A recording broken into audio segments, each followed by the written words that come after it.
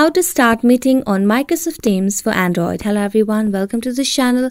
I'm Emily and I'm here to help you out today. So without any delay, let's get started. So first of all, launch the Microsoft Teams application on your device. So just launch the application and then tap on get started. As you get started, you can just select on the account that you'd want to associate with this. So just wait until you get signed in in your account over here in Microsoft Teams.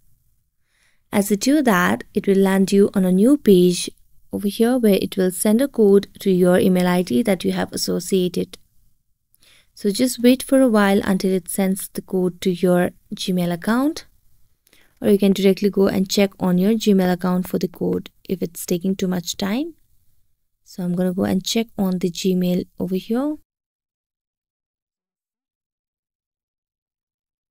So I'm just going to refresh it so that I get the code as well. So here's the code so I'm just going to check for the code over here.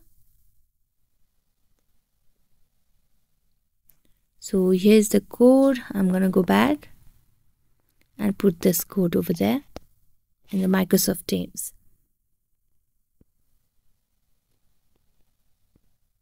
So just tap on the enter code option and enter the code.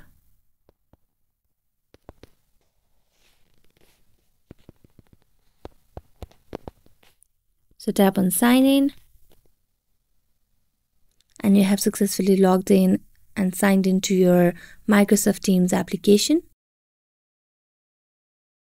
So keep going over here and you can just tap on get started to start your journey with Microsoft Teams.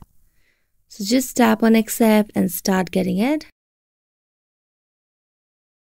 So give that access of your contacts as well to the Microsoft Teams and other necessary details. Then what you can simply do is tap on the meet option or just tap on the meetings over here. So tap on meet and then here you can tap on the copy meeting link and then as a tap on copy meeting link, you can just share it to other people and you can start meeting on Microsoft Teams. So thank you so much for watching this video. See you next time.